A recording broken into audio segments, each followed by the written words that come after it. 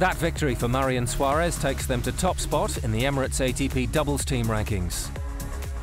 With beaten finalists Nestor and Stepanek in second place.